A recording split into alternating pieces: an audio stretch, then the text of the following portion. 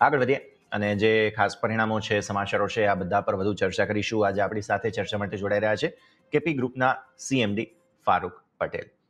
Doctor Farooq સૌથી પહેલાં તો ખૂબ ખૂબ સ્વાગત તમારું સીએનબીસી બજાર પર.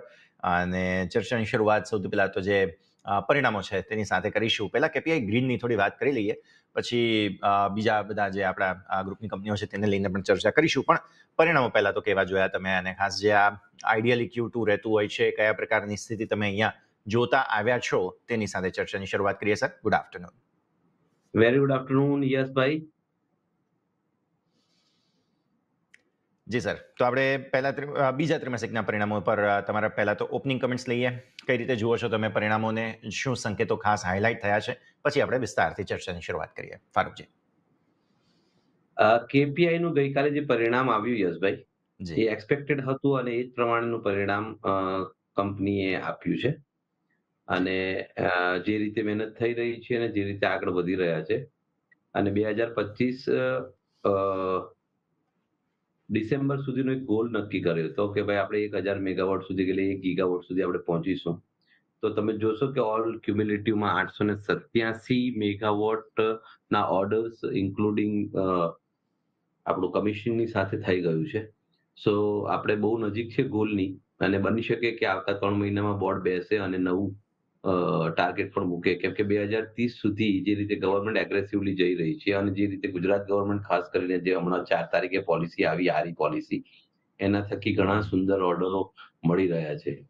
અને જોઈશું કે લાસ્ટ હાફ યર કરતા આ- હાફ યરમાં લાસ્ટ હાફ યર બસો ને બ્યાસી કરોડ હતું. અને આ વર્ષે એ જ વસ્તુ જમ્પ થઈને ચારસો ને છ કરોડ. અને પેટ જે હતો ગયા વર્ષે તે તેતાલીસ પોઈન્ટ ઓગણચાલીસ કરોડ હતો.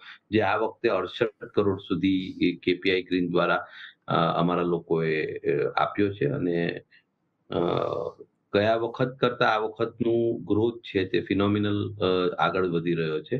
અને એ જ પ્રમાણે જો જોઈએ તો ગયા આખા વર્ષમાં છસો ને પિસ્તાલીસ કરોડે કેપીઆઈ ગ્રીનનું ટોપ લાઈન હતી. અને બોટમ લાઈન હતી એકસો ને નવ. તો જે રીતે છ મહિના ગયા છે અને તે પણ ચાર મહિના વરસાદના જો આપણે ગણીએ કે જેની અંદર આઈપીપી નું ઘણું ઓછું પ્રોડક્શન હોય, કેમ કે સોલર વરસાદમાં ઓછું એ થતું હોય છે.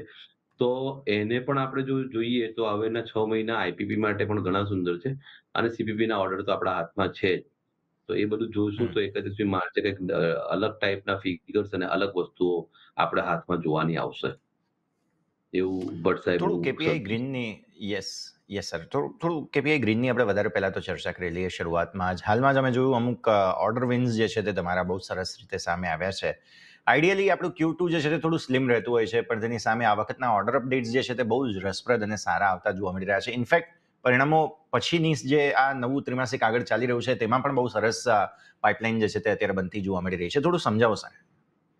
કેપીઆઈ ગ્રીન બેઝિકલી છે ને તો બે સેગમેન્ટની ઉપર ચાલતી કંપની છે. એક છે આઈપીપી અને બીજું છે સીપીપી આઈપીપી એ પોતાનું પૈસા નાખીને જ્યારે સોલર પ્લાન્ટ અને વિન્ડના અને હાઇબ્રિડના પ્લાનો નાખી અને એની વીજળી અમે લોકો વેચીએ છીએ. અને એ મોસ્ટ ઓફ વીજળી અત્યાર સુધી અમે લોકો થર્ડ પાર્ટી એટલે કે એલ છે કે મોટી મેઘ મની છે કે કલર ટેક્સ એવી કંપનીઓને અમે લોકો આપતા હતા અને આપતા રહીશું જે તો. પણ એની સાથે સાથે આ વખતે બસો ને ચાલીસ મેગાવોટ જીવીએનએલ એટલે કે ગવર્મેન્ટનો ઓર્ડર પણ આપણને મળી ગયો. અને એના કારણે આઈપીપીનું આપણા જે ટાર્ગેટ હતો કે આપણે અઢીસો હજારમાંથી અઢીસો મેગાવોટ કરીશું, તો એની જગ્યાએ બસો ને ચાલીસ તો ખાલી ગવર્મેન્ટનો ઓર્ડર થઈ ગયો અને ઓલરેડી એકસો ને સાહીઠની આજુબાજુ તો આઈપીપી આપણું ચાલી જ રહ્યું છે. તો એ બધું આપણે જો મિક્સ કરીએ, તો એ પાંચસો મેગાવોટ નજીક બે હજાર પચીસ પહેલા પહેલા પહોંચી જશે એવું અમારા લોકોની એ છે. અને આઈપીપી એક એવું સેગમેન્ટ છે કે જ્યાંથી એન્યુટી ઇન્કમ તમારી થાય છે અને વીજળી પચીસ વર્ષ સુધીના તમારા કરારો હોય છે. અને બીજી બાજુ સીપીપી જે છે તે સીપીપી એક વખત તમારો તમે પ્લાન્ટ બનાવ્યો એટલે જેનું કન્ઝમ્પશન હોય છે વીજળીનું તે લોકો આપણી પાસે પ્લાન્ટ બનાવે છે. અને પ્લાન્ટ બનાવીને એ વીજળી એ લોકો જ લે છે અને એનું ડેપ્રિશિએશન પણ એ લોકો લે છે. પરંતુ એક વખત આપણી કંપનીને જ્યારે પ્રોજેક્ટ બનાવવા આપે છે ત્યારે એક એક્સ અમાઉન્ટનો નફો આપણને મળે જ છે. અને ત્યાર પછી પચીસ વર્ષ સુધી લીઝ અને ઓએનડેમ આપણે કરીએ છીએ એની એન્યુટી ઇન્કમ મળે છે. તો ઓલ ટુગેધર જ્યારે આપણે કંપનીનો હજાર મેગાવોટનો પોર્ટફોલિયો આપણે બે હજાર પચીસ પહેલા જ્યારે કમ્પ્લીટ કરીશું તો જે ટોપ લાઇન ગયા વર્ષની હોય છે એ ટોપ લાઇન આવતા વર્ષની ફિક્સ જ થઈ જાય છે થ્રુ આઈપીપી અને એન્યુટી ઇન્કમ દ્વારા. એટલે નફો પણ ફિક્સ થાય છે અને એવું પચીસ વર્ષ સુધી આગળ ને આગળ ચાલતું જ રહે છે. અને એના કારણે અચ્છા ટેક્સની અંદર પણ તમે જોશો તો સીપીપી નો નફો જે છે તે ડેપ્રિશિએશન જે આઈપીપી નું આવે છે એની અંદર કમ્પન્સેટ થતું થતું જાય છે. અને એ એટલું સરળ રીતે અને ફાસ્ટ હવે મુવમેન્ટ થઈ રહી છે કે કંપનીની અંદર જે લોકો છે અને જે એન્જિનિયરો છે એ ઘણી સુંદર રીતે એક્ઝિક્યુશનની અંદર માસ્ટર થઈ ગયા છે. છેલ્લા તમે જોશો કે તેર વર્ષ ચૌદ વર્ષ જૂની કંપની છે અને જે રીતે કંપનીની અંદર શરૂઆતના પિરિયડો હોય એ પિરિયડો નીકળી ગયા અને છેલ્લા ત્રણ ચાર વર્ષથી કંપનીનો ફિનોમિનલ ગ્રોથ થઈ રહ્યો છે. અને ડે બાય ડે હું એવું કહીશ કે દસ ગણું વધી રહ્યું છે અને એ કન્ટિન્યુ રહેશે અને લોકો નવા નવા ઉમેરાય પણ છે અને સ્ટ્રેન્થ બી વધતી ચાલે છે અને સૌથી મોટા મોટી વાત એ છે કે કેપીઆઈ ગ્રીન એનર્જી કંપનીની પાસે ઇવેક્યુએશન પણ ઘણું મોટું છે. અને એની સાથે સાથે લેન્ડ બેંક પણ ઘણી મોટી છે અને ઓર્ડર્સ પણ હાથમાં છે. સો હવે કંઈ એવો પ્રશ્ન નથી રહ્યો કંપનીના માટે કે ફક્ત કામ કામ અને કામ જ અને નવું વસ્તુ ઉમેરાતું જાય છે. ભટ્ટ સાહેબ એટલે હું એવું કહીશ કે. ધીસ ઇઝ ધી હવે ઓપોર્ચ્યુનિટી છે. જે આપણે બી વાવેલા હતા એ બીનું ઝાડ મોટું થઈ ગયું છે અને હવે ફળો આવી રહ્યા છે અને એનાથી વર્લ્ડને ઘણો જ મોટો ફાયદો થઈ રહ્યો છે આપણા લોકો થકી. અને આપણા પીએમ સાહેબનું જે ટુ ઝીરો થ્રી ઝીરોનું આપણું મિશન છે કે આપણે આટલી ગ્રીન એનર્જી પેદા કરીશું તેની અંદર આપણી કંપની સૌથી વધારે કોન્ટ્રીબ્યુટ કરે એવી અમારા લોકોની ઈચ્છા છે. બિલકુલ તમે બહુ સરસ ઉદાહરણ આપ્યું પણ તમે આજે ફળો આવી રહ્યા છે એમાંથી નવા બી વાવવાની કોશિશ કરી રહ્યા છો એટલે મારો કહેવાનો મતલબ એ છે કે નવું ફંડ રેઝ કરવાની તમારી યોજના છે.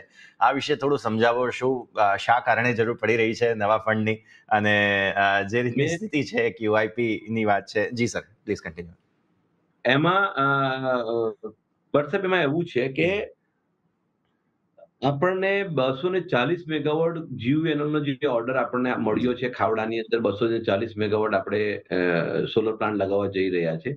એ સોલર પ્લાન્ટ ઓલમોસ્ટ સાડી આઠસો થી નવસો કરોડનો તૈયાર થશે.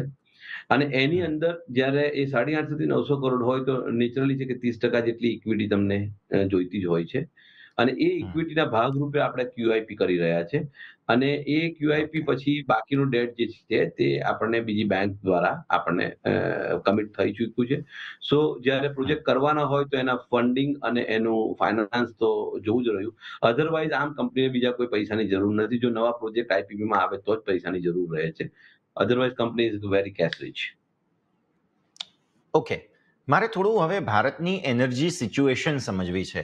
કારણ કે તમે ઊર્જા ઉત્પાદન ન્યૂ રિન્યુએબલ એનર્જી આ તે બધાની સાથે બહુ ક્લોઝલી જોડાયેલા છો ફારૂકજી. મારે એક વાત એ સમજવી છે કે જ્યારે ભારતનું કન્ઝમ્પશન વધી રહ્યું છે પાવર કન્ઝમ્પશન પણ બહુ સરસ ગતિથી આગળ વધતું જોવા મળશે. પાવર જનરેશનની દિશામાં આપણે કેટલા ઝડપથી આગળ વધી રહ્યા છીએ અને જે પ્રકારે ડિમાન્ડ વધી રહી છે સપ્લાય કેટલી ઝડપથી વધી રહી છે, આપણે સરપ્લસ રહી શકીશું, નહીં રહી શકીએ કેમ કે દર વખતે ઉનાળામાં ચિંતાઓ તો તમને ખબર જ છે પાવર કટને લઈને આવતી જ હોય છે. તો ઇન જનરલ હું એનર્જીની સિચ્યુએશન થોડું સમજવા માંગુ છું ભારત માટે. બહુ સરસ આપ તમારો સવાલ છે. કેમ કે પાવરનું કન્ઝમ્પશન આજે પણ ભારતમાં દુનિયાના બીજા દેશો કરતા ઘણું ઓછું છે. પણ ધીમે ધીમે જે રીતે આપણો દેશ આગળ વધી રહ્યો છે તેમ તેમ આપણને પાવરની જરૂરત પડતી જ રહેવાની.